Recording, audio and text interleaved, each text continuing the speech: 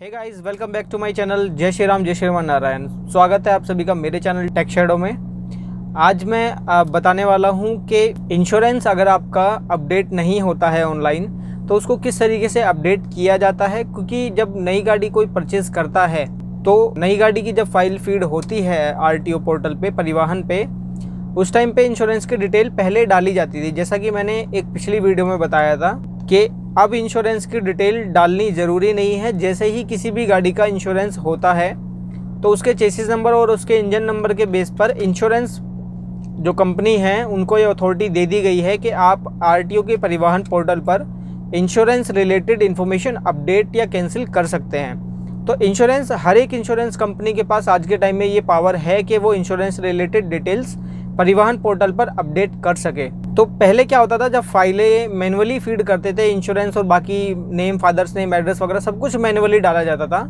अभी भी मैनुअली डाला जाता है, बट इंश्योरेंस को लेके थोड़ा सा ये चीज़ अपडेट हो गई है। इंश्योरेंस अब किसी भी गाड़ी का, अगर हम कराते हैं नई गाड़ी का तो जैसे नई गाड़ी परचेज़ करते हैं, उसका इंश्योरेंस भी ज़रूरी होता है। इंश्योरेंस जब कराते हैं तो उसको आज के टाइम में अपडेट करने की आवश्यकता नहीं पड़ती है। जैसे ही इंश्योरेंस होता है, तुरंत परिवहन पोर्टल पर वो चीज़ अपडेट हो जाती है। तो इंश्योरेंस में पहले क्या होता था कि मैनुअली चीज़ें डलती थी तो इंश्योरेंस को डीलरशिप वगैरह कुछ, उसमें फेर बदल करके एडिट एडिट वगैरह करके उसमें कुछ ना कुछ कर लेते थे। बट आज के टाइम में ये पॉसिबल नहीं है। अगर कोई भी ऑटोमोबाइल डीलरशिप है और अगर वो गाड़ी किसी को सेल करते हैं तो उनको भी इस चीज़ का ध्यान रखना चाहिए, उनको भी ये वीडियो देखनी चाहिए कि अगर वो किसी गाड़ी को सेल करते हैं किसी कस्टमर को तो उसका इंश्योरेंस तभी कराएँ, क्योंकि सात दिन के अंदर अंदर टैक्स पे करना बहुत ज़रूरी होता है अदरवाइज़ पेनल्टी लग जाती है। तो इंश्योरेंस किसी भी गाड़ी का तभी कराएँ जब वो बिकने वाली हो या उसकी डिलीवरी होने वाली हो, ताकि आप जल्द से जल्द उसकी गाड़ी का टैक्स पे भी कर सकें और पेनल्टी से बच सकें। चलिए इसी के ऊपर आज हम बात करेंगे। एक व्यूवर ने कमेंट किया है कि, सर, मैंने नई गाड़ी परचेज़ की थी और मेरी इंश्योरेंस जो है, जैसे कि जैसे कि मान लीजिए फोर व्हीलर गाड़ी है तो उसमें इंश्योरेंस तो एक साल का ही होता है बट थर्ड पार्टी इंश्योरेंस जो है, वो तीन साल का कम, तीन साल का या उससे अधिक का कंपलसरी कर दिया गया है। तो उसमें ऊपर लिखा होता है फ़र्स्ट पार्टी इंश्योरेंस एक साल तक वैलिड है और थर्ड पार्टी इंश्योरेंस तीन साल तक वैलिड है। तो उसमें क्या होता है, ग्राहकों को ये दिक्कतों का सामना करना पड़ता है। जब इंश्योरेंस पोर्टल पर पहले मैनुअली एंट्री की जाती थी तो लोगों को इस चीज़ का अंदाज़ा नहीं था। और वो लोग फ़र्स्ट पार्टी की इन्फॉर्मेशन ही उसमें अपडेट करते थे थर्ड पार्टी की नहीं करते थे। जिससे क्या होता था, एक साल बाद जब इंश्योरेंस खत्म होता था तो ऑनलाइन अगर हम चेक अगर चेक करते थे कोई पुलिस वाला या फिर कोई कस्टमर खुद ही चेक करता था तो उसके ऑनलाइन एम परिवहन पर उसका इंश्योरेंस एक्सपायर्ड दिखाता था, जबकि उसके इंश्योरेंस में ये लिखा रहता था कि इंश्योरेंस थर्ड पार्टी अभी भी और तीन साल के लिए, दो साल के लिए जितना भी उसका टाइमिंग पीरियड बचा है, तब तक के लिए वैलिड है। तो उस चीज़ में लोगों ने गलतियाँ की थी। बट अब इन चीज़ों को लेके ज़्यादा घबराने की आवश्यकता नहीं है।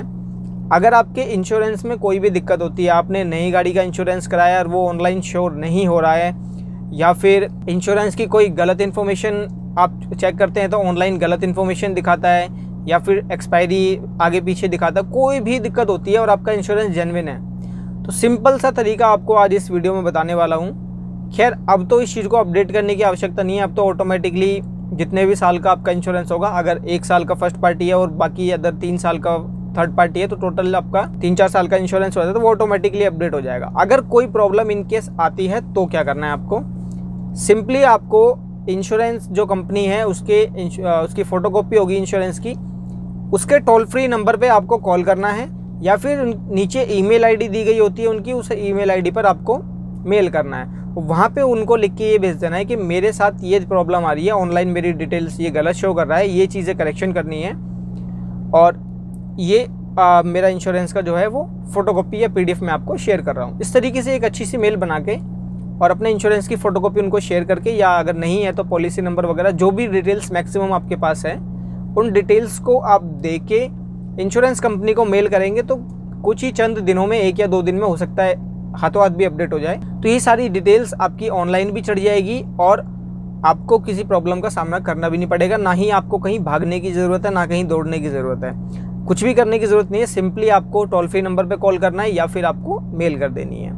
तो ये थी हमारी आज की जानकारी इस वीडियो में। इंश्योरेंस रिलेटेड अगर आपको कोई भी दिक्कत आती है तो किस तरीके से उसकी डिटेल्स को अपलोड किया जा सकता है? अगर आपको ऑटोमोबाइल सेक्टर से या फिर ट्रांसपोर्ट सेक्टर से या फिर आरटीओ सेक्टर से किसी भी तरीके की आपको न्यूज़ चाहिए, कोई अपडेट चाहिए, कोई भी लेटेस्ट इन्फॉर्मेशन चाहिए, किसी भी टॉपिक पर आप वीडियो चाहते हैं कि इस टॉपिक पर मेरी ये प्रॉब्लम है और इसका मुझे सोल्यूशन नहीं मिल रहा है, मुझे इस टॉपिक पर वीडियो चाहिए, ये मेरी प्रॉब्लम है तो प्लीज़ आप कमेंट कर दीजिए या फिर व्हाट्सअप का नंबर डिस्क्रिप्शन में, स्क्रीन पे भी आपको दिखाई दे रहा है, यहाँ पे भी आप मैसेज करके व्हाट्सअप पे सिर्फ़ मैसेज करना है, मैसेज करके आप पूछ सकते हैं, अपनी प्रॉब्लम को बता सकते हैं, प्रॉब्लम अगर अच्छी होगी, अगर ठीक होगी जेनविन होगी, वीडियो बनाने लायक होगी तो उस पर वीडियो बना दी जाएगी। अदरवाइज़ आपको व्हाट्सअप पे ही या कमेंट में ही आपको रिप्लाई करके जल्द से जल्द कुछ ही देर में आपको रिप्लाई कर दिया जाएगा। हम, अगर आप हमारे चैनल पे नए हैं और चाहते हैं ऑटोमोबाइल ट्रांसपोर्ट या आर रिलेटेड कोई भी न्यूज़ कोई भी लेटेस्ट अपडेट तो प्लीज़ हमारे चैनल को सब्सक्राइब ज़रूर कर लीजिएगा। नोटिफिकेशन बेल दबाइए ताकि कोई वीडियो आप लोगों से मिस ना हो।